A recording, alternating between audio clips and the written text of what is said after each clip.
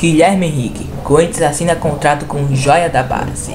Veja o que ele falou. Gratidão por tudo que Deus vem fazendo em minha vida. Mais um passo dado. Primeiro contrato profissional com o Corinthians, escreveu o jovem em suas redes sociais. Ainda no ano passado, Guilherme integrou os treinos do profissional no Timão. Em seu primeiro ano no Sub-17 foram 27 jogos com 10 gols marcados e 5 passes para gol.